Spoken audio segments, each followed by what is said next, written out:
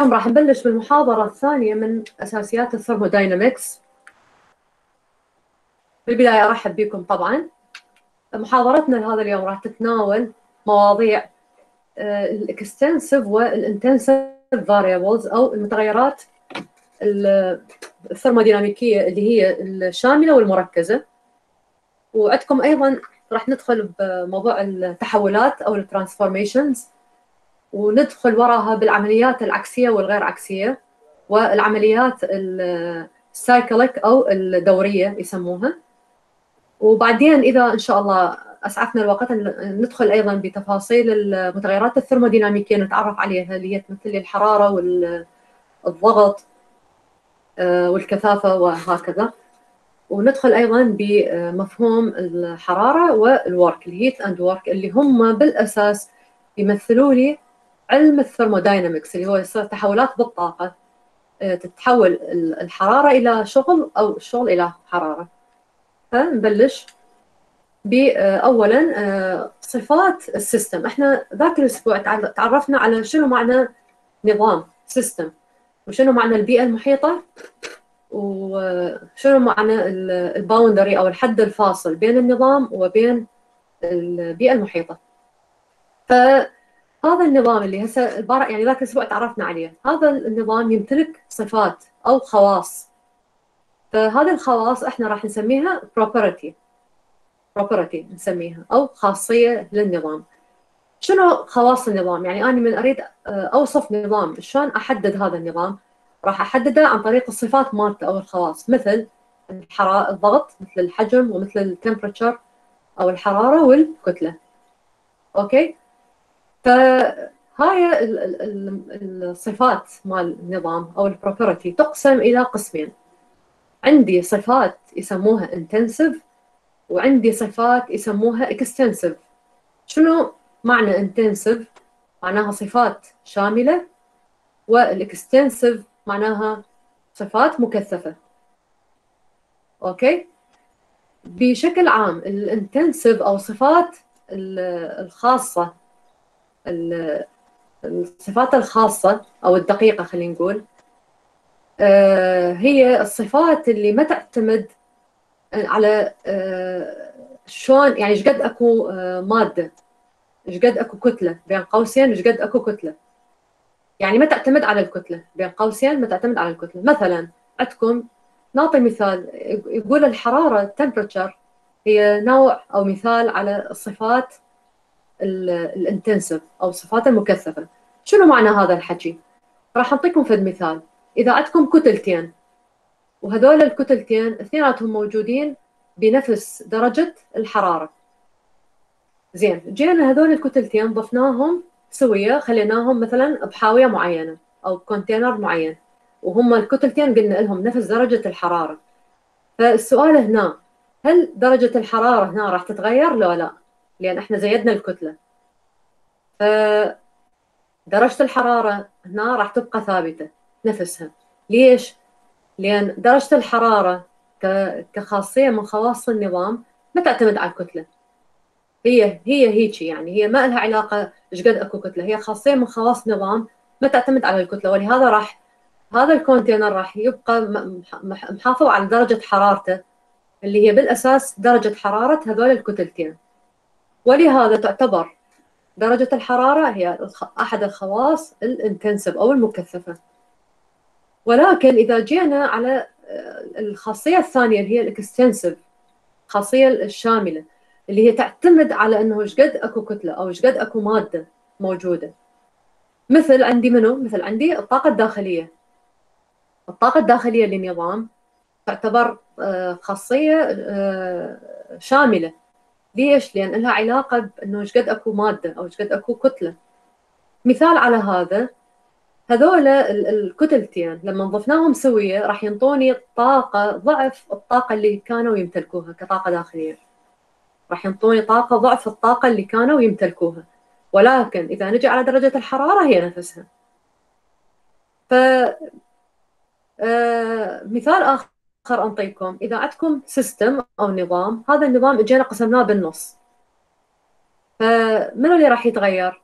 اللي راح يتغير الصفات ال extensive الصفات الشاملة اللي هي تعتمد على الكتلة. في حين الصفات ال intensive أو المكثفة ما تعتمد ما راح تتغير. تبقى نفسها. واضحة الفكرة؟ وأنا طبعا كنت يعني ضاربة مثال سابقا. يعني الغير طلاب آه، مثلا يعني حتى بس يعني تبقى هاي الفكرة بدماغكم. آه، من نقول يعني هسه حاليا من نقول نريد مثلا عندي فد بناية وهاي البناية بيها ملحق.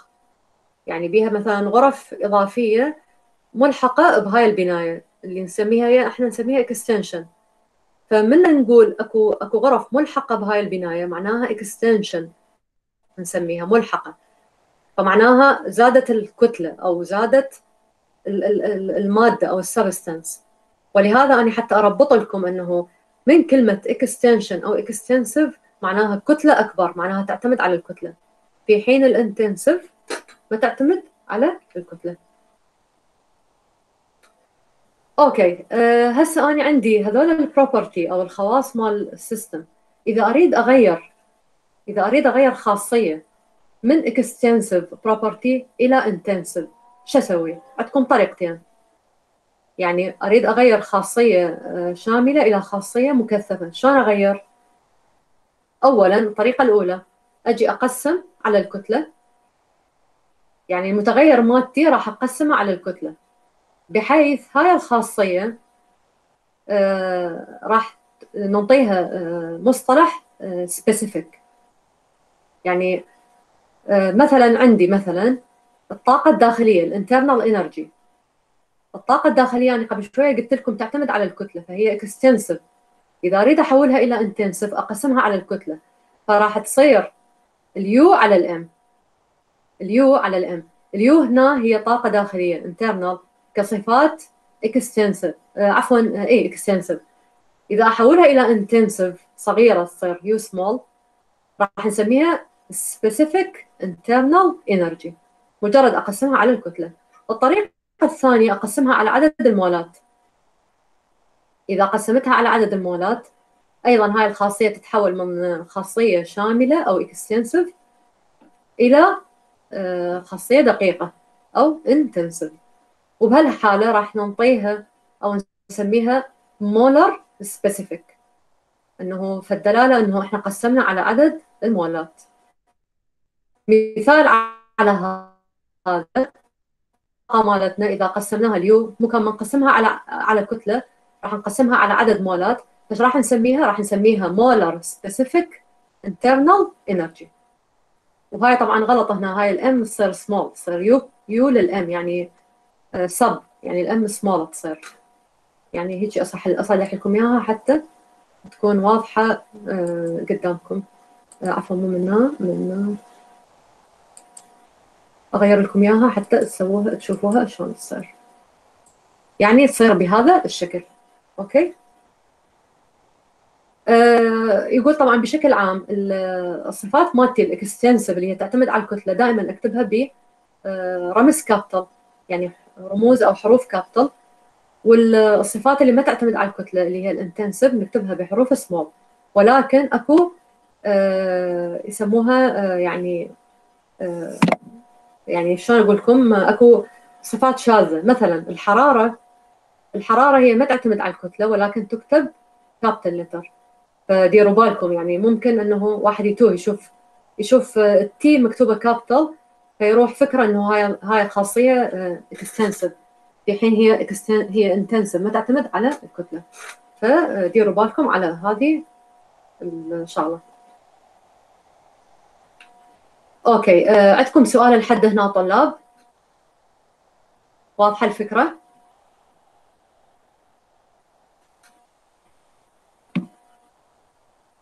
okay ماكو سؤال.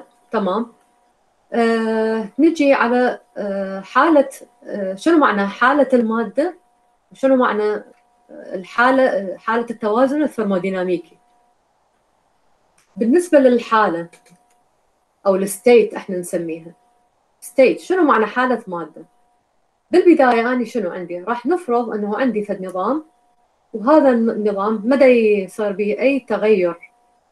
مدا يصير به أي تغير بمعنى أنه الحالة مالته ثابتة. شنو معنى الحالة مالته ثابتة؟ من أقول حالة معناها أنا عندي متغيرات ثرموديناميكية وهاي المتغيرات هي بحالة ثبات مدا يصير بها تغير ومثل ما قلنا ومثل ما اتفقنا بالبداية أنه إحنا ال thermodynamics يتعامل ويا متغيرات من مفهوم ال macroscopic أو المفهوم الكبير مثل شنو؟ مثل كتلة مثل حرارة مثل ضغط مثل حجم فهنا تلاحظون هاي المادة آه عندي المتغيرات مالتها كتلة 2 كيلوغرام الحرارة 25 وال volume مالتها 1 متر مكعب. فإحنا بنقول هسه هاي حالة النظام هسه حاليا النظام مالتنا بحالة ثبات أو استقرار. إيش وقت ما يطرأ عليه تغيير راح يتحول من ال state واحد أو الحالة الأولى إلى الحالة الثانية. بهالحالة إحنا هذا عندي طبعا آه، مكبس أو بستون يسموه. المكبس تم رفعه إلى الأعلى. فتلاحظون إنه شنو اللي تغير به فقط الحجم. كان واحد متر مكعب صار ثلاثة متر مكعب. فبمعنى إنه الغاز صار عنده عندنا في حالة تمدد أو اكسبانشن صار به فلهذا إنه الحجم ما تتغير فطول ما كان هنا بدون تغيير إحنا نقول هنا النظام في حالة توازن لأنه المتغيرات الثرموديناميكية مالتنا في حالة ثبات. متى ما صار تغير بهاي المتغيرات صار عندي تغير بالحالة. واضحة؟ هاي المتغيرات الثرموديناميكية إحنا شو نسميها عندنا؟ اعطيتكم إياها بالمحاضرة الأخيرة. نسميها state variables أو متغيرات الحالة. ليش سميناها متغيرات الحالة؟ لأن هي تستخدم لوصف حالة النظام الثرموديناميكي. نقول هذا النظام حرارته كذا حجمه كذا ضغطه كذا وهكذا.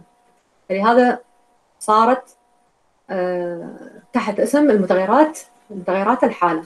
طبعا متغيرات الحالة ما تعتمد على آه شلون تحول النظام. تجي على الحالة الأخيرة. تجي على الحالة الأخيرة. بمعنى أنه ما تعتمد على الباث أو على المسار اللي سلكه هذا النظام.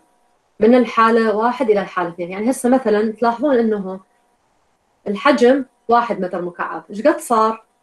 ثلاثة متر مكعب. أنا من أجي أجي آخذ الحجم الأول والحجم الثاني. بس ما لي علاقة شلون آه، إيش قد صار تغير أو أو شنو المراحل اللي مر بها الحجم حتى يوصل إلى 3 متر. أنا أجي أخذ الصافية إيش قد الحالة الأولى؟ إيش قد الحالة الثانية؟ ما لي علاقة بالباث أو بالمسار اللي سلكه هذا النظام حتى يوصل إلى الحالة الأخيرة أو الحالة النهائية اللي هي 3 متر مكعب. بمعنى أنه المتغيرات الحالة ما تعتمد على المسار؟ ما تعتمد على المسار؟ وإنما تعتمد على الحالة النهائية اللي وصلها النظام. هاي راح تفهموها أكثر من نجي ناخذ آه، آه، آه، التفاضل التام والغير تام. وعلى اساسها نحدد هل المتغيرات هذه هل هي تعتبر متغيرات حالة؟ لو ما تعتبر متغيرات حالة okay هسه ورا ما عرفنا إنه الحالة أو ال state هي عبارة عن متغيرات تحدد حالة النظام. إيش وقت أقدر أقول هذا النظام هو في حالة توازن ثرموديناميكي إيش وقت أقدر أقول. فالتوازن الثرموديناميكي هو حالة آه، يكون تكون بها خواص النظام إلى حد معين آه، تكون مشابهة مع الخواص للنظام المحيط أو السراوندينج أو البيئة المحيطة. يعني من عندكم مثلا خلينا نقول آه، بطل مال مي وحاطيه برا. هذا بطل المي له نفس الخواص مال الغرفة نفس درجة الحرارة مثلا نفس الضغط. فإحنا نقول معناها هذا بطل المي صار بحالة توازن مع البيئة المحيطة. ولهذا نقول هو بحالة توازن. في حين إذا جبتوا جلاس مال شاي وهذا الجلاس طبعا مفتوح وكان حار وخليتوه بمكان بارد. أكو تغير بالصفات. أكو تغير بال state variables أكو تغير بالحرارة. آه، فيظل يقوم يصير آه، بتغير بالحالة إلى أن يوصل إلى حالة التوازن. هذا المثال مالتنا يسموه thermal equilibrium أو حالة التوازن الحراري. هذا اللي هو أحد أنواع التوازنات. أنا عندي طبعا ثلاث أنواع. آه، من أنواع التوازن. مجموعهم يمثل لي التوازن الثرموديناميكي. فهسه مثلا النوع الأول من أنواع حالات التوازن هو التوازن الميكانيكي. شنو معناه؟ حطيت لكم إياه بالأحمر. معناها no unbalanced forces يعني القوى المؤثرة على هذا الجسم من البيئة المحيطة تكون متساوية. يعني هسه شوفوا مثلا هذا الشكل قدامكم. هذا اللون الأخضر هو سيستم أو نظام. عندي قوة الجاذبية متوازنة مع قوة مثلا الرفع أو قوة السحب على سبيل المثال. فمن عندي أكو توازن. الجسم مع البيئة المحيطة وماكو آه، قوى غير متوازنة. على هذا الجسم تعمل على هذا الجسم إحنا نقول هذا الجسم في حالة توازن ميكانيكي. بمعنى آخر آه، هنا يقول لا النظام ولا أي جزء من النظام آه، يعاني من تعجيل. شنو معنى تعجيل؟ معناها الجسم مستقر ماكو ما بيه حركة. الجسم ثابت. آه هذا يقول آه آه معناها ماكو تربلنس معناها ماكو اضطراب بهذا الجسم. الجسم ثابت ومستقر في حالة توازن ميكانيكي. ماكو قوى تعمل على تحريك هذا النظام. في حين إذا عندكم system آه، مثلا مثلا طوبة أنتم حاطيها وهاي الطوبة ضربها واحد من عندكم بحيث سلط عليها قوة. فبالتالي راح يصير بها تعجيل أو تتحرك. فما راح تكون في حالة توازن ميكانيكي هذا النوع الأول. النوع الثاني يسموه التوازن توازن المادة أو ال material اللي هو بين قوسين يسموه ال phase and chemical equilibrium اللي هو حالة التوازن الكيميائي والفيزيائي. الفيزيائي نقصد به الطور. يعني آه، مي عندكم. هذا المي هو بحالته السائلة. راح يبقى بحالته السائلة. إلا إذا تعرض مثلا إلى تبريد آه، راح يتحول من سائل إلى صلب. وإذا تعرض الحرارة راح يتحول من سائل إلى بخار. فطالما هو بنفس الطور إحنا نقول هذا في حالة توازن آه، فيزيائي أو الطور مالته ثابت. وبالنسبة لل chemical equilibrium أو التوازن الكيميائي هو في آه، له يعني نفس التركيز. يعني مثلا آه، ما آه، مثلا عندكم آه، مادة كيميائية معينة خلينا نقول نيتروجين. فالنيتروجين التركيز مالته هو ثابت بهذا بهذا ال container أو هاي الحاوية اللي تحتوي على النيتروجين. مدى يصير تغير بالتركيز؟ أوكي؟ أو مدى يصير تغير بالنوع الكيميائي أيضا؟ يعني مثلا مدى أجي أخلي مادة أخرى؟ على سبيل المثال. عندي عندي نوع واحد كيميائي أو عندي آه، نوعين كيميائية نوعين من الغازات ولكن تركيزها ثابت. فبهالحالة أنا أقول هي في حالة توازن؟ كيميائي. مع طبعا مع الوقت هذا الحكي إحنا بدنا نقول بدنا نحكي آه، سواء توازن ميكانيكي أو حتى الفيزيائي والكيميائي بدنا ناخذه آه، مع الوقت. النوع الثالث أو الأخير اللي هو التوازن الحراري أو ال thermal. باعوا هذا المثال هو اللي يوضح لكم. عندي جسمين آه هذا عندي جسم hot وهذا cold وخليناهم بحالة تماس. فمن عندي اختلاف بدرجة الحرارة بين هذول الجسمين. هم في حالة توازن راح يصير انتقال حرارة من الهوت إلى الكولد فمعناها عندي انحدار حراري بهذا النظام. فإذا كان أكو عندي انحدار حراري معناها هذا الجسم هذول الجسمين هم مو بحالة توازن حراري. ولهذا على هذا الأساس راح يصير عندي انتقال بالحرارة أو بالطاقة. لكن المثال الآخر هذول الجسمين اللي تشوفوهم هم اثنينهم لهم نفس درجة الحرارة. فهنا نقدر نقول إنه عندي توازن حراري. هذول الجسمين نفس درجة الحرارة. بمعنى إنه عندي no temperature gradients in the system. ما عندي انحدار بالحرارة في هذا النظام. واضحة؟ فهذا مفهوم التوازن الحراري. إذا نجي ناخذ المفاهيم الثلاثة اللي هو ال mechanical وال material وال thermal هذول ثلاثتهم مجتمعين. إذا تحققوا ذاك الوقت إحنا نقول ال thermodynamic system أو النظام الثرموديناميكي هو في حالة توازن ثرموديناميكي على شرط إنه ثلاثتهم يصيرون أوكي؟ هذا هو مفهوم ال thermodynamic equilibrium نجي على الموضوع الآخر اللي هو موضوع ال transformations أو التحولات. التحولات. آه هدى آه عندك فت فكرة. عندك فت فكرة شنو معنى تحولات؟ أو ال transformations شنو معنى تحول؟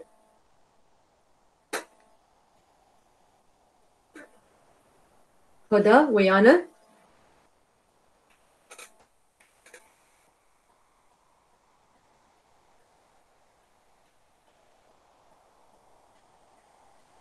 حنان يلا طلاب أريد تفاعل ويانا شنو معنى transformations? شنو معنى تحولات دكتورة أجاوب يا ريت. آه، هو تغير يخضع له نظام من حالة توازن إلى أخرى. تمام. هذا ممكن إحنا طبعا هو من إحنا بدنا نقول ترانسفورميشنز بيصير انتقال يعني كأنما. بيصير تغير آه، بالمادة من حالة إلى أخرى. بس هذا التعريف اللي قلتيه ينطبق أكثر شيء على ال process أو العملية. يعني يعني عندي آه، إذا تلاحظون بهذا الرسم هذا الرسم هذا الرسم يمثل لي بيستون أو آه، مكبس. المكبس كان بالحالة الأولى هذه كان هنا. من صار دفعناه وصل لهذه الحالة. الحالة الأولى ال state 1 هي حالة توازن. وال state 2 أيضا حالة توازن. واللي بيناتهم هي حالة عدم توازن يعني المفروض يعني لأنه بده يصير بها تغير. فطبعا هاي هم لها يعني شو أقول لكم بها نقطة جدل. إنه شو وقت نقول إحنا عندنا حالة توازن تام أو أو شبه تام وش وقت نقول ما عندنا حالة توازن. ولكن خلينا نركز على هاي الحالتين. هي ال state 1 إلى state 2 عملية التحول من الحالة الأولى إلى الحالة الثانية إحنا نسميها عملية أو بروسيس يعني صارت عندي عملية. انتقلت أو تحولت بها تحول بها هذا النظام من حالة إلى أخرى. والحالتين هم تعتبر حالات توازن. إذا أجينا إذا أجينا أخذنا سلسلة التحولات يعني إحنا طبعا هم مو عندنا حالتين فقط. يعني عندنا عدة تحولات أو عدة حالات. قد تكون يعني لا ما معدودة أو أو عديدة هواية. فسلسلة الحالات اللي تمر يمر بها النظام آه، خلال هاي العمليات عمليات التحول نسميها المسار أو الباث. على سبيل المثال عندنا هنا نظام. هذا النظام صار به تحولين. يعني صار به تحول من الحالة الأولى اللي هي بحالة المكبس إلى الحالة الثانية اللي هي الحالة الثانية. هاي المكبس من صار به آه، صار ضغط. يعني ضغطناه للداخل. آه، هنا صار عندي تحول من الحاله الأولى إلى الحالة الثانية. عملية التحول نسميها المسار الثرموديناميكي أو الباث. هذا الباث هو المسار الثرموديناميكي اللي هو عبارة عن آه، سلسلة من الحالات اللي يمر بها النظام خلال عملية معينة أو خلال عمليات. آه، طبعا هذا المسار شلون أقدر أرسمه؟ راح ارسمه اعتمادا على آه، محاور ثرموديناميكية اللي هي بالأساس تعتمد على متغيرات ثرموديناميكية. يعني مثلا إذا تتذكرون المحاضرة اللي فاتت بالأخير قلت لكم عندي متغيرات حالة اللي هي state variables. عندي ربطناها بال آه، بالمعادلة معادلة الحالة اللي هي كان عندي البي والفي والتي تتذكرون؟ الضغط والحجم والحرارة. إذا أخذنا متغيرين آه، يعني أخذنا آه، ثبتناهم على قيم معينة وجينا شفنا التأثير مال هذول المتغيرين على المتغير الثالث. نشوف نشوف شلون ده يتغير. مثلا عندي ال property أو الخاصية أو المتغير مثلا هنا P وهنا T وشفنا ال volume شلون ده يتغير. فبهالحالة أني آه، أخذت متغيرات ثرموديناميكيه وأخذت آه، رسمت المسار أو ال path مالتهم. فهو هذا معنى ال path أو المسار اللي هو يمثل لي آه، المراحل اللي مرت بها هاي المتغيرات خلال عملية معينة. أوكي هنا يقول لكم أكو يعني عدد يعني آه، لا يحصى من من المسارات آه، خلال المتغير خلال ال diagram أو خلال الشكل أو المخطط الثرموديناميكي لنظام. آه، تصير به تحولات للنظام من حالة من حالة توازن إلى أخرى. ولكن أرجع واكد على هاي النقطة اللي جدا مهمة. أني من أجي آخذ هاي المتغيرات الثرموديناميكية ما لي علاقة بالمسار. أني أجي آخذ نقطة بداية ونقطة نهاية. ضاع هذا الرسم. أني هسه على إيش مركزة؟ مركزة على الحالة الأولى ومركزه على الآخ... الحالة الأخيرة. ما لي علاقة بهذا الباث أو المسار؟ ما لي علاقة. ليش؟ لأن أنا إذا أخذ متغيرات آه، حالة متغيرات ثرموديناميكيه يسموها state variables ما لها علاقة شلون صار هذا التغيير. يجي يأخذ الحالة الأولى والحالة الأخيرة. أوكي؟ آه، إذا كانت هذه العملية تمشي بشكل آه، يعني جدا قريب من حالة التوازن. ذاك الوقت أقول هاي العملية كانت quasi static يعني شبه ثابتة أو quasi equilibrium process أو شبه متوازنة. إيش وقت أقول quasi static أو quasi equilibrium راح نرجع لنفس المخطط. يعني إذا كان الفرق بين الحالة الأولى والحالة الثانية جدا صغير كلش صغير قريب من حالة التوازن يعني آه، ما صار بي تغير كلش كبير. ذاك الوقت أقول هاي العملية هي عملية كانت شبه متوازنة أو شبه مستقرة. quasi static أو quasi equilibrium آه، عفوا static quasi static أو quasi equilibrium process بالضبط. إما شبه ثابتة أو شبه متوازنة. إذا صار آه، تغير بال system ولكن بشكل آه، جدا قريب من حالة التوازن. أعطيكم مثال. آه، عندي مثلا هذا. إذا هذا المتغير مثلا هنا عندي كان مثلا درجة الحرارة خلينا نقول كانت 39 والحالة الثانية مالتها صارت 39.1 يعني الفرق اللي صار بالحرارة 0.1 فقط. يعني تغير جدا قليل.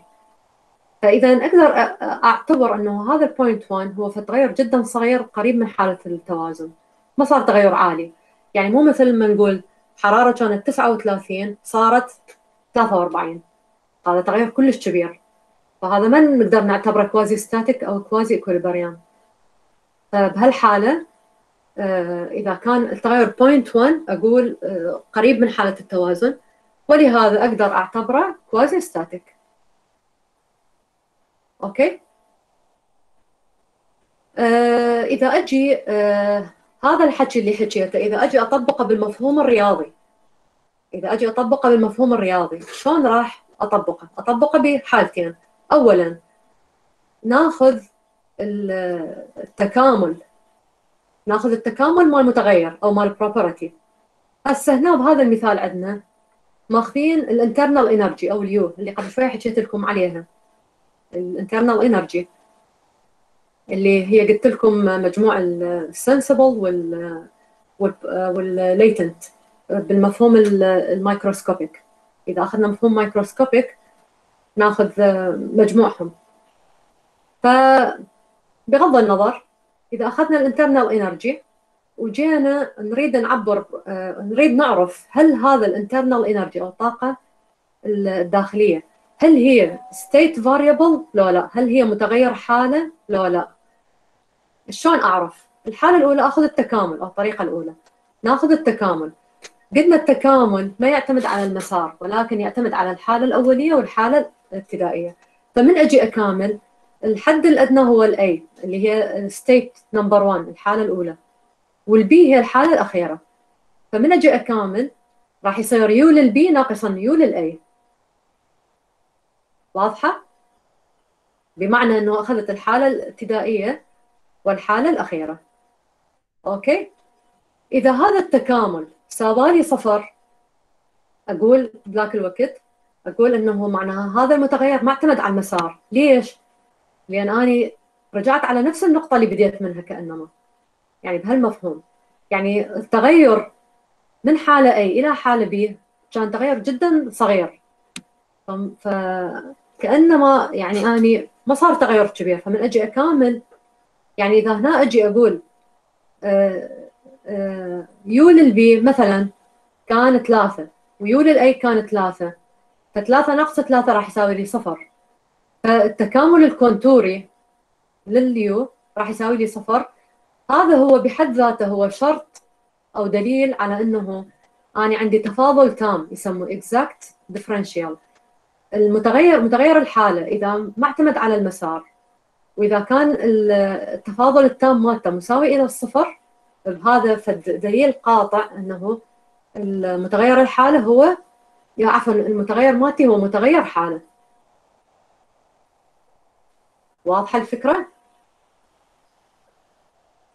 يعني آه، إذا أجي أريد في الدليل قاطع على أنه التحولات اللي صارت بمتغير معين. آه، هاي التحولات آه، كانت صغيرة. وهذا المتغير مالتي هو state variable أو متغير حالة لازم عندي التغير ما يعتمد على المسار المتغير يعني التغير اللي صار أو هذا المتغير ما يعتمد على المسار. وحتى أثبت هذا الكلام مالتي لازم أسوي تكامل من آه، الحالة الابتدائية للحالة النهائية لهذا المتغير.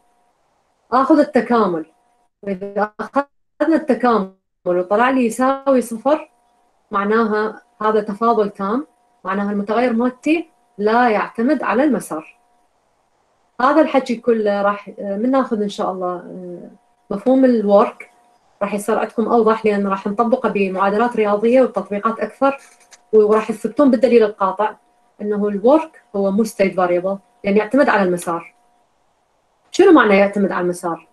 هسه راح تفهموها أكثر آه، من ناخذ آه، العمليات ال reversible وال irreversible يعني هذا الشكل مالتنا. اني هسه من جيت أخذت متغير آه، على سبيل المثال ال U من أخذناها. اني ما أجيت شفت ال U إيش قد يصير هنا بتغير. جيت أخذت الحالة الأولية والحالة النهائية. ما جيت على المسار وعلى التغير بكل نقطة من نقاط المسار. ما اجيت أخذت التفاصيل الدقيقة. جيت أخذت فقط الحالة الأولى والحالة الأخيرة وسويت تكامل وطلعت التكامل يساوي صفر وبالتالي آه، طلع لي تفاضل تام وبالتالي هو state variable. أوكي؟ آه، من أجي أني على هسه اللي الحكي اللي حكيت لكم إياه من أجي على آه، العمليات. اللي تتم من يصير تغير بمتغير معين من حالة إلى أخرى أو transformation عندي آه، ال transformation أو التحول هو دا يصير دا يصير من حالة أولية اللي هي سميناها i هنا بهذا الرسم مالتنا إلى f ال i جاية من كلمة initial يعني ابتدائية وال f جاية من كلمة final اللي هي الحالة النهائية. آه إذا عملية التحول كتعريف أو ال transformation هي عملية تحدث لنظام بحيث تنقله من حالة أولية إلى حالة نهائية. فإذا أجي على آه، مخطط ثرموديناميكي اللي هو يسموه مخطط ال PV شنو معنى ال PV عندي الحجم على محور X وال P على محور Y وأجي أرسم تغير مثلا آه، خلينا نقول الحرارة على سبيل المثال. وأشوف تغير الحرارة من أثبت أني قيم معينة لل P وال V وأشوف الحرارة شلون تتغير. فنشوف. لاحظوا هنا عندي عندي عملية تصير من i إلى f وعندي من f إلى i هذا التحول اللي دا يصير. آه، إذا كان آه، يعني آه، بطريقة بحيث يكون ال system والبيئة المحيطة ما صار بهم تغير. ما صار بهم تغير. لكن الوقت أقول هاي العملية عكسية. okay؟ بمعنى آخر هنا يقول العملية العكسية ال reversible يسموها هي العملية اللي نقدر نعكسها عند أي نقطة على المسار. بطريقة تكون كلا النظام والبيئة المحيطة يعود إلى حالته الأصلية. يعني هسه لاحظوا أنا عندي هسه ال system مالتي بنقطة i وين هاي الحالة الابتدائية؟ إذا وصل إلى حالة f اللي هي الحالة النهائية أنا هسه أقدر أعكس من ال f إلى ال i وبنفس المسار. يعني طبعا هو هذا المسار i واقدر أقدر هسه أجي آه، من f إلى i اللي هو آه، المسار ال i prime بس آه، هنا أيضا هو راح يكون reversible ليش؟ لأن أنا عندي البيئة المحيطة وعندي ال system رجعوا لنفس الحالة اللي كانوا بيها. ما صار بيهم تغير. ما صار بيهم تغير. يعني اثنيناتهم حافظوا على صفاتهم. بهالحالة أقدر أقول إنه هاي العملية عكسية. آه، طبعا راح أعطيكم أمثلة ورا ما نشرح الفكرة. حتى أوضح المفهوم أكثر. مش وقت طبعا تكون ريفرسبل لما التحولات من الحالة الأولية إلى الحالة النهائية تتم ببطء شديد خلينا نقول. بحيث بأي لحظة تقدر العملية تنعكس وترجع لحالة التوازن اللي كانت عليها سابقا. okay؟ ولكن إذا العملية ما تمت بهذا الشكل وما قدرت ترجع يعني ممكن ال system يرجع إلى وضعه الطبيعي ولكن البيئة المحيطة صار بها تغير وما ممكن ترجع للحالة اللي كانت بيها. ذاك الوقت أسمي العملية عملية غير عكسية. لأن البيئة المحيطة ما تقدر ترجع. أنا شرط مالتي أنه تكون العملية عكسية. لازم اثنيناتهم النظام والبيئة المحيطة يرجعون للحالة اللي كانوا عليها. ولكن إذا واحد من عندهم رجع والثاني ما رجع ما نقدر نقول هاي العملية عكسية. شوفوا هسه. آه هنا يقول العملية العكسية أو reversible. آه ممكن أن تنعكس بدون أن تترك أي أثر على البيئة المحيطة. يعني البيئة المحيطة ترجع مثل ما كانت. طبعا هذا شو وقت يكون آه يعني possible أو يعني جائز أو ممكن. هنا نعطيكم مثال. إذا كان الصافي التبادل بالحرارة وصافي التبادل بالشغل أو بال work آه، بين البيئة المحيطة وبين النظام هو zero. يعني صفر. يعني هو إحنا صار إحنا عندنا تبادل ولكن صافي التبادل صفر. شنو معنى صافي التبادل؟ معناها أني رجعت البيئة المحيطة لما كانت عليه ورجع ال system لما كان عليه بحيث صافي التغير؟ صار صفر. آه نعطيكم هنا مثال. يقول افرض عندي نظام. هذا النظام هو عبارة عن غاز والغاز مغلق. آه يعني موضوع الغاز موضوع بكونتينر أو بحاوية مغلقة. وعندنا موفابل آه بيستن أو أو مكبس متحرك. مكبس متحرك. إذا طول ما أنتم تحركون المكبس ببطء شديد.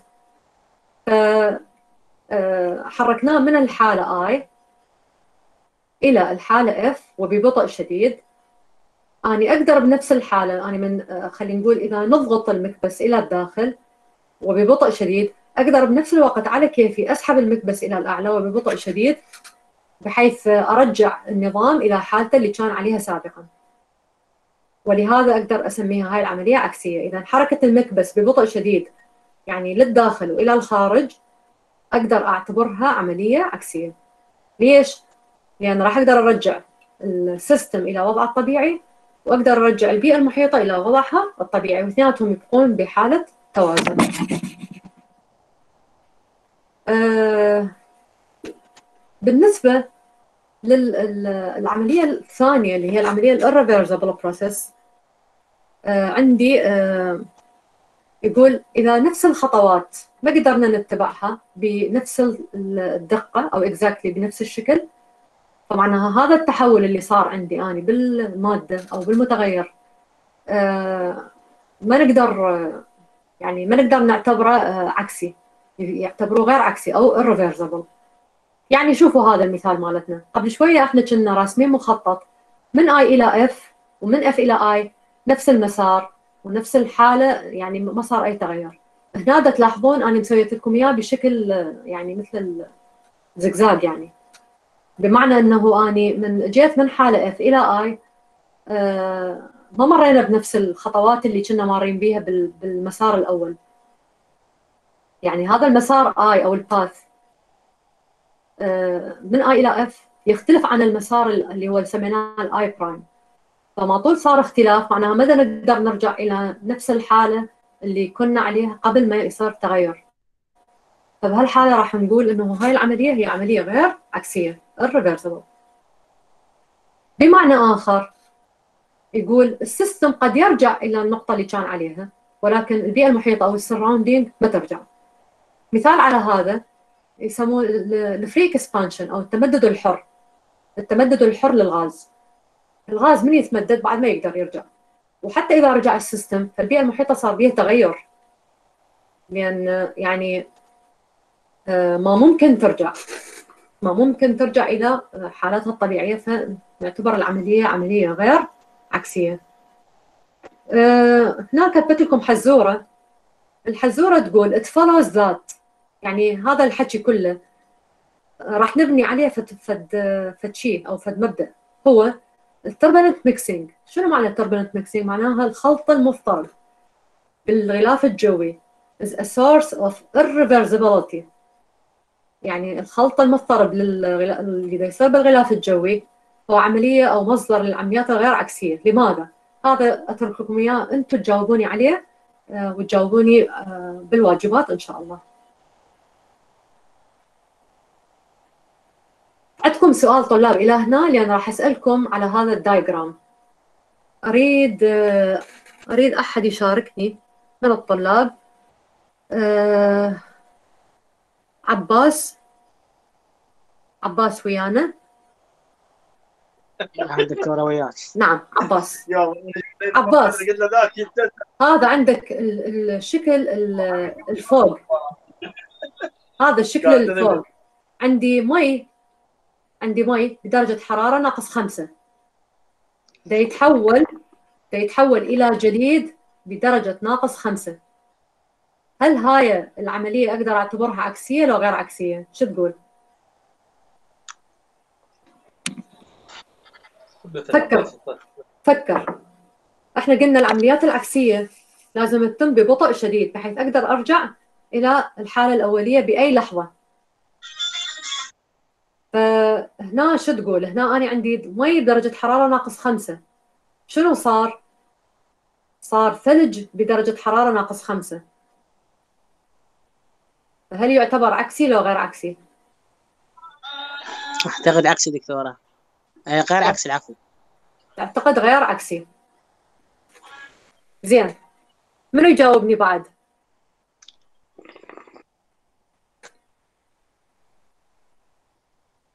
منو يجاوبني بعد؟ زين عباس انت ليش استنتجت هذا الاستنتاج؟ ليش غير عكسي؟ برأيك؟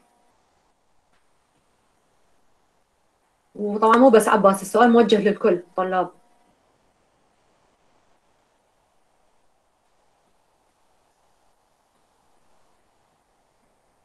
آه، طلاب بالمناسبة آه، اللي آه، اللي وضع يمه ما يقدر يعني يحكي. يكتب لي شات الجواب مالته وأشوفه بعدين.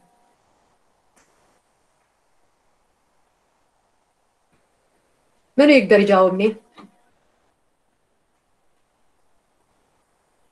سجا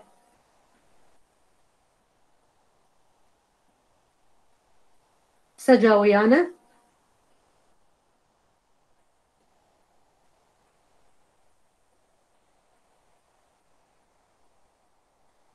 حنان. منو وياي شهد.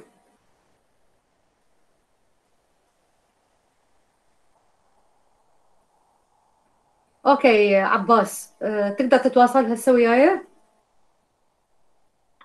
نعم دكتورة. عباس أنا راح أجاوبك على ال ال يعني الحل مالتك اللي قلته. طبعا أنت جوابك صحيح. اللي دا يصير شنو؟ حتى بس تكونون بالصورة. عندكم هنا هذا ال diagram الجوا عندكم مي عندكم مي بدرجة ناقص خمسة. هذا المي إيش راح أسوي له؟ راح أسخنه. إيش راح يتحول؟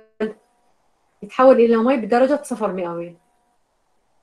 وراها راح يتحول بعد التبريد يعني هنا شنو معناه هنا؟ مي هنا هو. مي بدرجة ناقص خمسة. مي بارد كلش.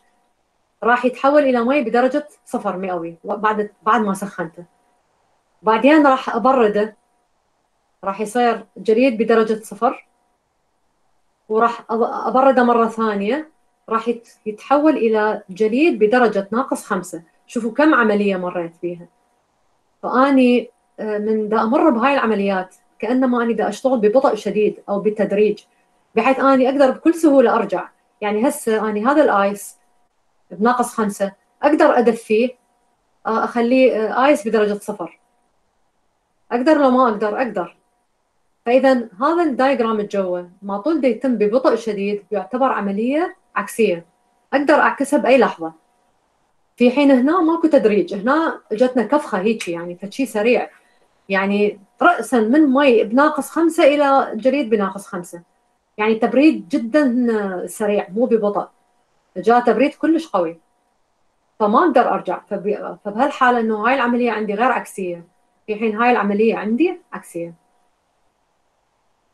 شكرا عباس. أه ننتقل للموضوع اللي وراه اللي هو cyclic process.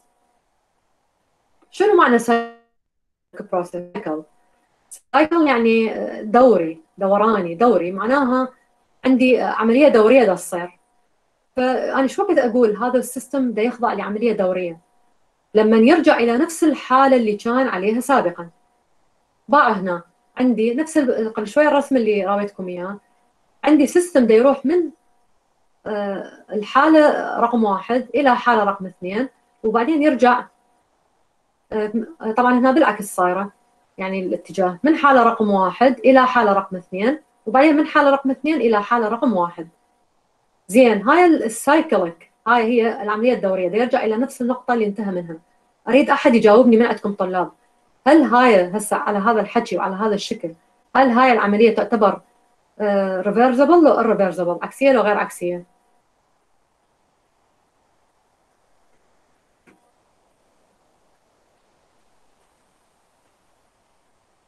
امم منو يجاوبني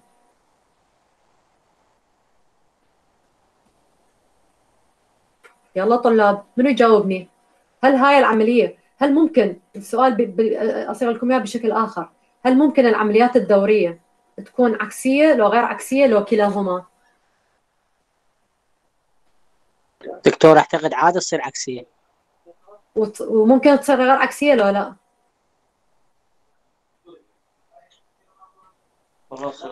طبعا دكتور لأن مثلا الماي بلون إذا مجمد بلون صهار يتحول إلى شيء وإذا انجمد يمكن يرجع أعتقد. آه، هو إحنا ما نحكي يعني كتطور أنا مجرد ذاك مثال مال ماي بس قصدي أنا كعملية هسه دورية. هسه هاي العملية الدوريه إحنا إيش قلنا؟ قلنا دا يمر من حالة واحد إلى حالة اثنين ومن حالة اثنين إلى حالة واحد.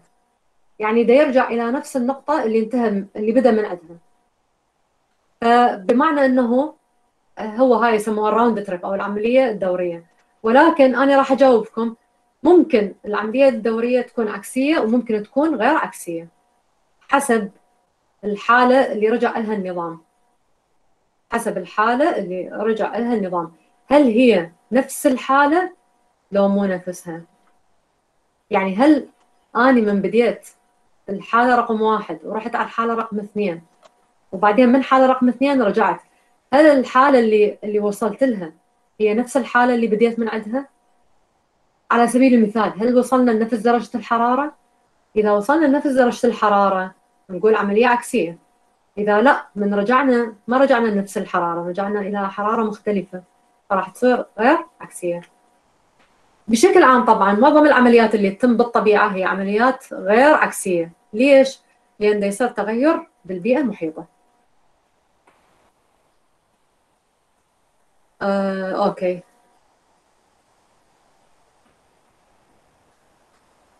العفو دكتورة. نعم تفضل. ممكن ممكن تعيدين بس هاي آخر فقرة؟ تمام.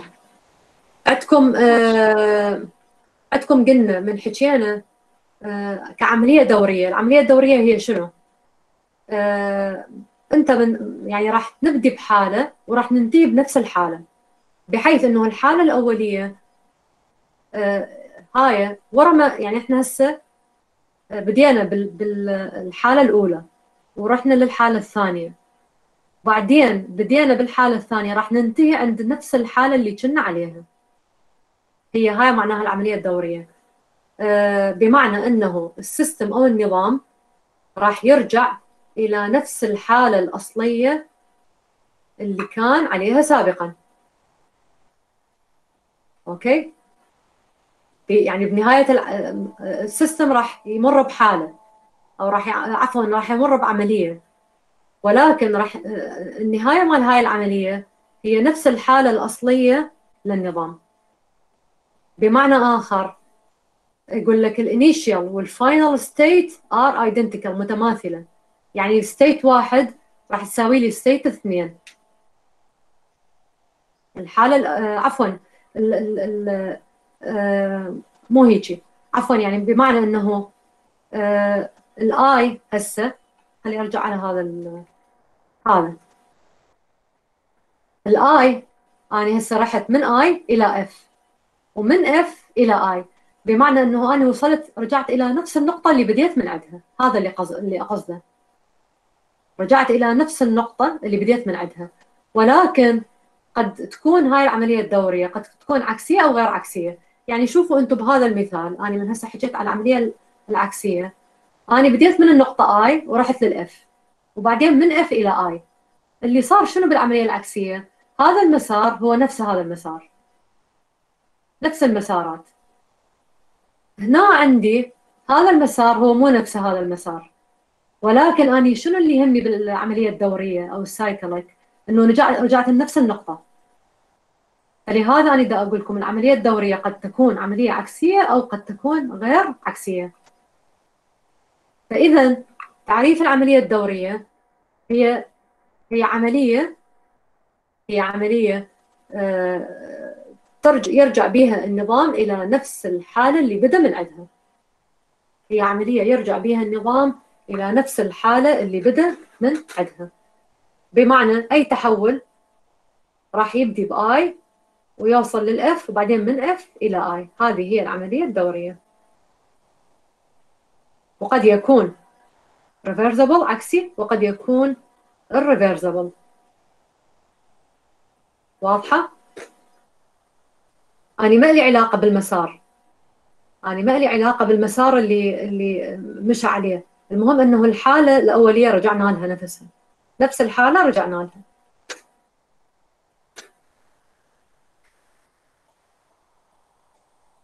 وقلنا أنه معظم العمليات اللي تتم بالغلاف الجوي هي عمليات غير عكسية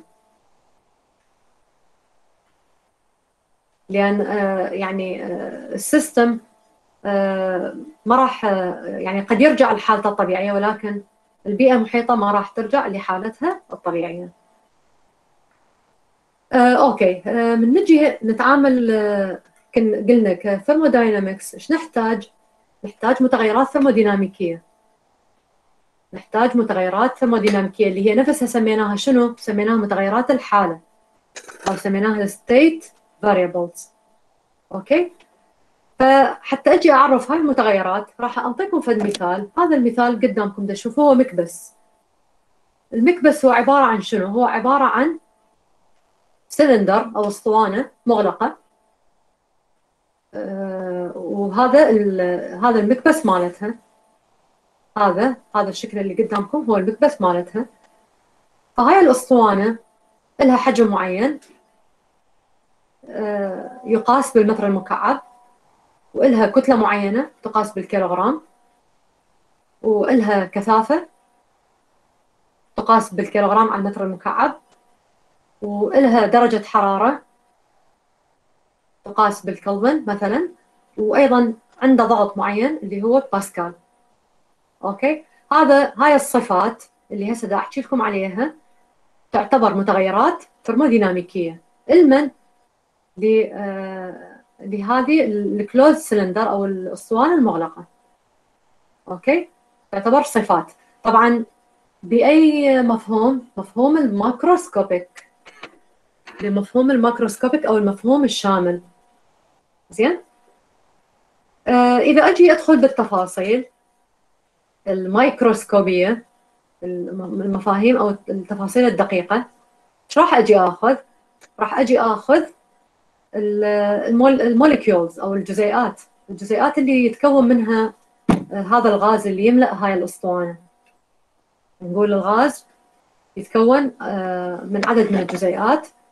الكتلة مال الكتلة الفردية مال كل جزيئة هي M1 والكتلة الكلية راح تساوي لي N في الميو يعني الكتلة الكلية لهذا الغاز اللي هي ال M capital راح تساوي لي N في ال mu ال N هي عدد المولات و ال mu هي يسموها ال molar mass أو الكتلة المولية.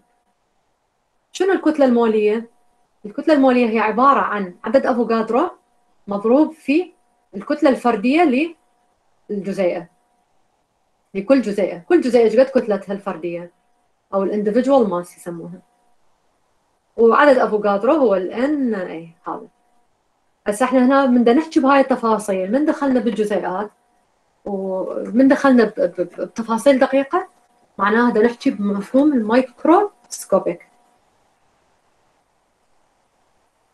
أوكي. هاي اللي هسه راويتكم إياها. المتغيرات الثرموديناميكية راح نحاول هسه نتعرف عليها بشكل تفصيلي أكثر. إذا أجي على مفهوم ال microscopic level أو المفهوم ال microscopic الدقيق من أجي أعرف درجة الحرارة اللي هو أول متغير ثرموديناميكي هو مقياس لمعدل الطاقة الحركية للذرات آه، اللي تتحرك. معدل أو هو مقياس لمعدل الطاقة الحركية آه، للذرات لاحظوا هذول الأشكال. من يقول لي ياهو حار وياهو بارد هذول عبارة عن جسمين. واحد إذا تلاحظون جزيئاته متقاربة جدا. وواحد جزيئاته يعني منتشرة. منو يقول لي آه، ياهو ياهو بارد وياهو حار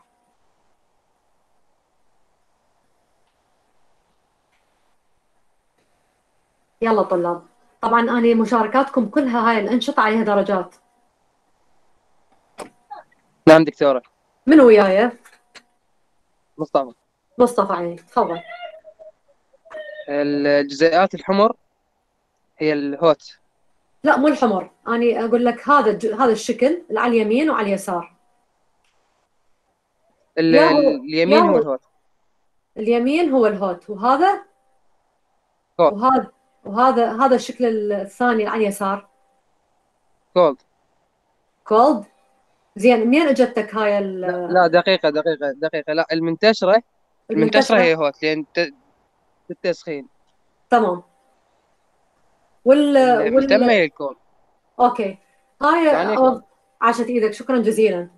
آه عندك إذا تلاحظون طلاب من تخلون أول ما تريدون تسوون شاي على النار شو تسوون أنتم؟ تخلون المي على النار. شوية شوية طبعا هو المي المي يكون بحالة سكون. من ترتفع درجة حرارته شو يصير به؟ يقوم يبدي يغلي ويتحرك بسرعة. يعني شنو معناها؟ المي جزيئات المي تبدي تمتلك طاقة حركية فتقوم تتحرك بشكل أسرع. في حين إذا تجون على الثلج ماكو حركة. وتشوفوه آه، آه، متكتل. يعني هيك جزيئات ملتصقة واحدة باللخ. يعني طبعا هو المي حالة شاذة أنا يعني المفروض ما اضرب أضرب لكم على غير هذا لأن يعني المي تحديدا وكأطوار آه إلى غير مفاهيم. ولكن يعني بشكل عام فاذا هذا الشكل اني هسه تشوفون منه نعرف مفهوم الدنسيتي. آه راح تعرفون آه اللي أقصده. آه عموما الأجسام من تكون؟ درجة حرارتها باردة تقوم آه، يعني تتكتل. وهاي طبعا أحكي لكم بشكل عام باستثناء المي. المي بعدين نحكي.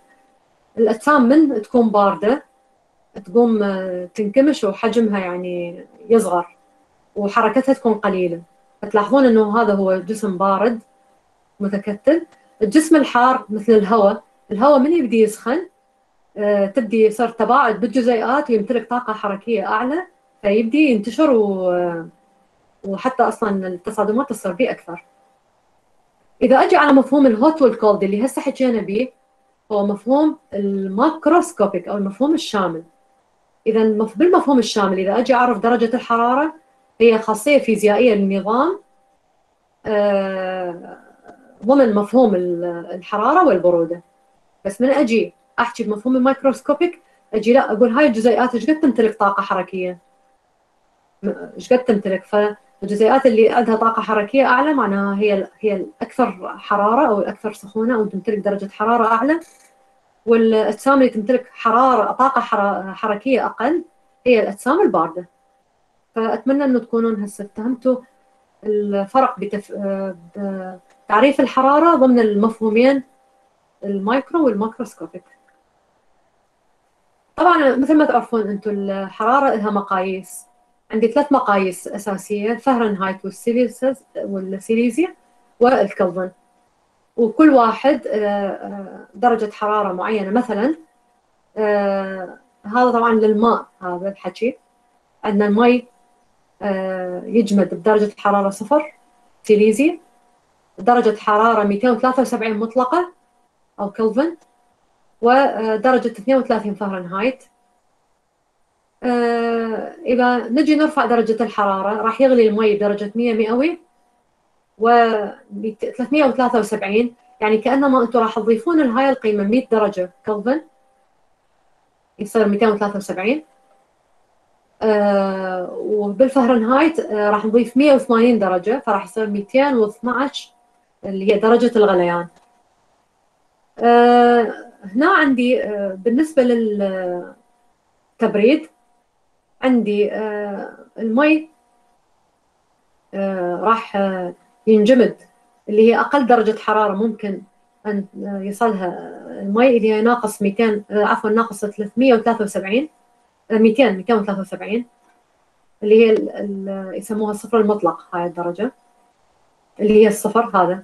يعني يعني هي 273 بالسالب بالمفهوم أو بالمقياس السيليزي. والمقياس الكلفن يسموه صفر المطلق. وبالفهرنهايت هي ناقص 459 اللي هي درجة الانجماد. وهاي عندكم المعادلات اللي نستخدمها للتحويل من سيليزي إلى فهرنهايت ومن سيليزي إلى كلفن أوكي؟ آه نجي على الضغط المتغير الثرموديناميكي الثاني. اللي هو تعريفه. إحنا كل كليتنا من كنا بالأعدادية نعرف إنه الضغط هو قوة على مساحة. هو قوة على مساحة. إذا نجي هنا يعني ك... كغلاف جوي وأريد أوضحه بمفهوم ثرموديناميكي أقول هي القوة المسلطة على وحدة مساحة بسبب آه، وزن عمود الهواء. أوكي؟ القوة المسلطة على وحدة مساحة بسبب وزن آه، يعني من قبل عمود هواء. يعني أنتم هسه أفرضوا وطبعا هو هذا اللي آه، اللي دا يسبب لي هذا المفهوم أو هذا التعريف هو الأساس اللي نستند عليه آه، بتعريف المرتفعات والمنخفضات الجوية. أو هو الشيء اللي نستند عليه بقياس الضغط الجوي اللي هو نقول عليه آه، ضمن مستوى سطح البحر. أو فوق مستوى أو تحت مستوى سطح البحر. أوكي؟ لأن إحنا من نجي نحسب لازم عندي أني عندي فد فد ارتفاع معين أو فد نقطة معينة وهاي النقطة أجي أقيس عليها الوزن مال عمود الهواء بحيث أشوف هذا ال ال ال القوة اللي سلطها هذا الوزن مال عمود الهواء إيش قد تصير على هاي النقطة؟ وأقول هو الضغط. شوفوا هنا يقول الضغط هو القوة. اللي آه، يسببها غاز on its bounding walls على الجدران لوحدة مساحة. شنو معنى هذا الحكي؟ شوفوا الرسم اللي قدامكم راح أحركه انيميشن شوفوا هنا. هذا معناه. معناها هاي الجزيئات مال الغاز إيش قد تسلط ضغط على هذا الوال؟ أو على هذا الجدار. هاي طبعا هذا الحكي وين يعني نقدر نطبقه؟ إذا عندي حاوية كونتينر وهاي الحاوية بها غاز وأريد أعرف هذا الغاز أو جزيئات الغاز إيش قد تسلط ضغط على الجدران مال هذه الحاوية. هذا التعريف اللي دا أقول لكم عليه اللي هو إنه هو القوة اللي دا تسلطها جزيئات الغاز على الجدار. أنا ما أقدر أقول هيك بس. ليش؟ لأن أنا عندي آه، إضافة إلى هذا الضغط اللي دا يتسلط. عندي آه، ضغط آه، يعني يمكن أن يقاس بين الجزيئات نفسها. طبعا وهذا الضغط ممكن أقيسه بحساسات معينة. تقيس لي القوة لوحدة المساحة اللي تسلطها جزيئات الغاز على بعضها مو بس على جدار الغاز. عفوا جدار الأسطوانة. أوكي؟ يعني بمعنى آخر أنا عندي ضغط تتسلط الجزيئات على الجدار وعندي ضغط داخلي بين الجزيئات. أوكي؟ فنرجع لمفهومنا اللي هو قلنا هو القوة المسلطة آه، يعني على وحدة مساحة من قبل وزن يعني من قبل وزن عمود الهواء. فإذا هو قوة على مساحة. F على A. آه، هنا يقول لك الضغط يعني كمقاييس ستاندرد يقاس بالباسكال الباسكال اللي هو آه، نيوتن على المتر المربع واحد نيوتن على المتر المربع. آه، وعندي ال 100 باسكال اللي هي تمثل لي 1 ملي بار أو 1 هكتو باسكال سابقا هاي الوحدة أو الملي بار كنا هي هاي اللي نستعملها. حاليا بدنا نستعمل الهكتو باسكال أوكي؟ آه عندنا أيضا وحدات أخرى للضغط اللي هي الواحد اتموسفير أو واحد جو. تمثل لي 1013.25 هكتو باسكال آه طلاب هذا الضغط اللي هو ال 1013 هذا الستاندرد مالتنا. أعلى من عنده يعتبر ضغط عالي وأقل من عنده يعتبر ضغط واطئ. وراح تاخذوها إن شاء الله بالتحليلية من نريد نحدد المنظومات الجوية هل هي منظومات ضغط عالي أو واطئ.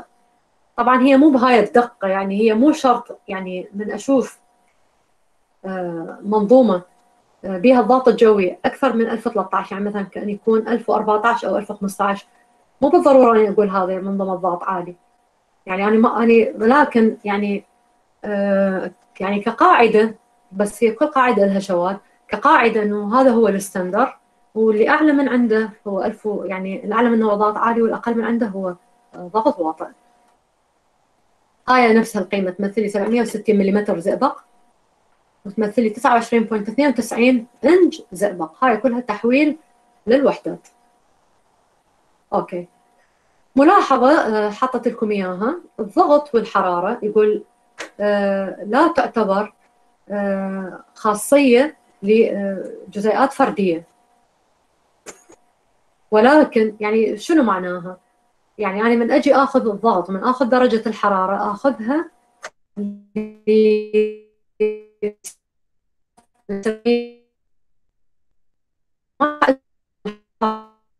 جزيئة يعني كمية كاملة أو يعني آه يعني لل system ككل. ما راح اخذه لي individual أو لجزيئات مفردة.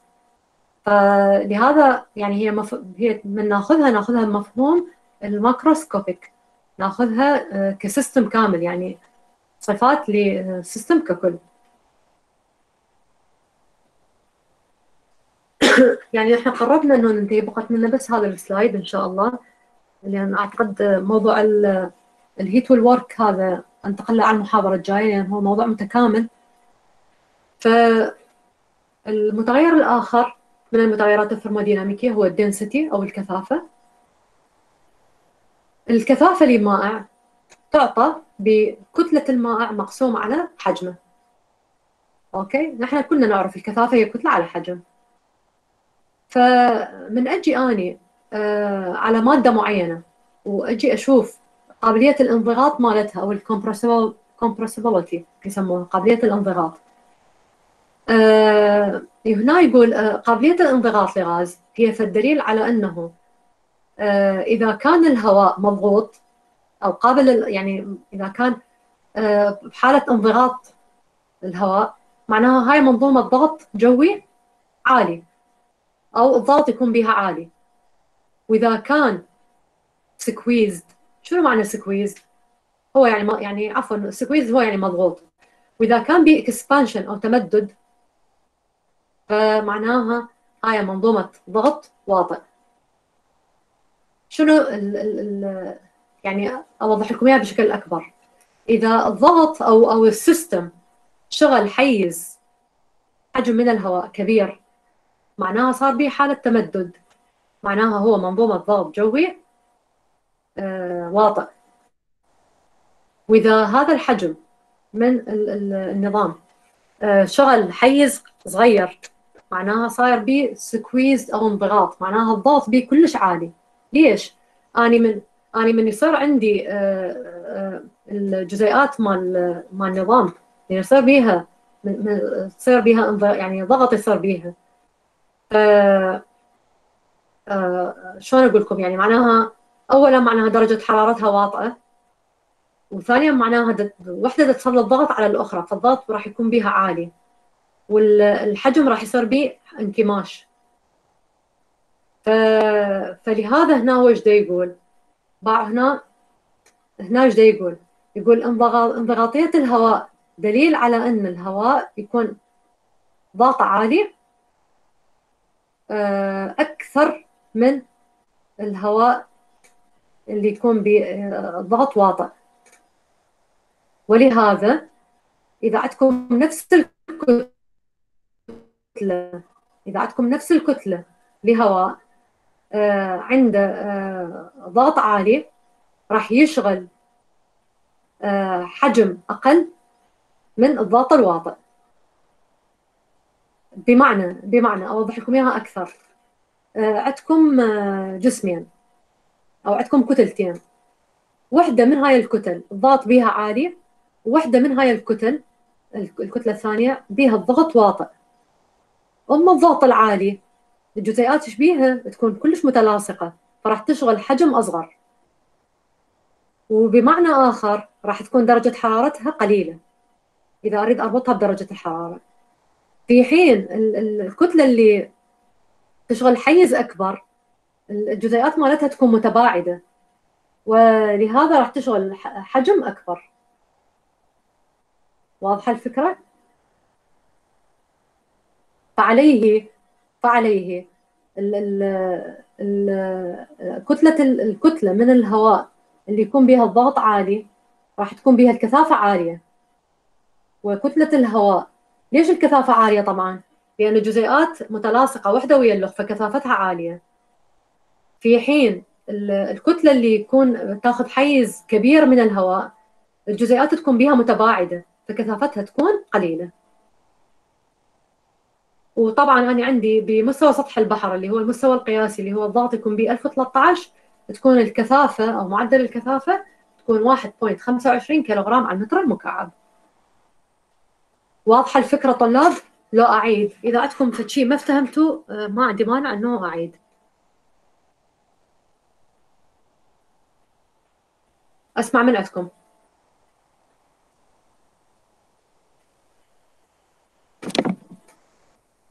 ها طلاب وياي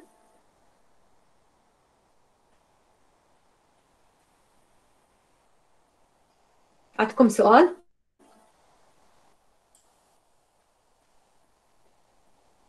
okay. إذا ما عندكم سؤال أني راح أكتفي بهذا القدر. وان شاء الله الأسبوع الجاي نكمل وياكم على ال heat وال work إن شاء الله يعني نكمل على الأسبوع القادم.